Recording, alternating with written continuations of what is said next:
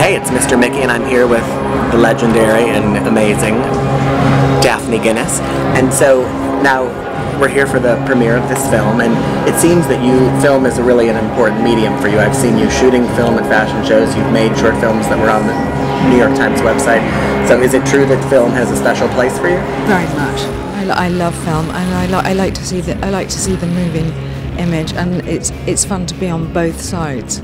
It's it's a, it's it's it's a, it's a different experience, but it's always it's always interesting, it's, and it's always sort of you always feel like you're slightly in the dark, which is great. Mm-hmm. And do you feel- what's going to happen next?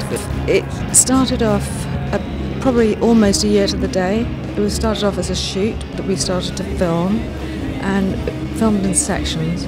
And me and Indrani started sort of talking. Well, maybe we could make it into a film, and it sort of became. It was very organic the way it happened. True.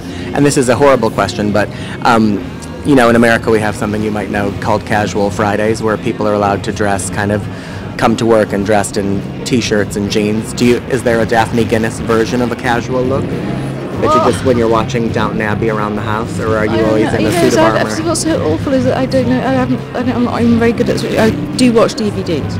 Not, but so many channels now, um, and I watch the news a lot. Or when Um, you're watching the news, do you have just like a casual Well, look sort of just like, well, that's just sort of like Rick Owens kind of like, you know, sort of rap or I don't know. Or, yeah, no, no, I, I'm not very good at, Mm-hmm. I'm not sure if I'm, I don't know. I'm glad. I'm glad. Do you own any any blue jeans?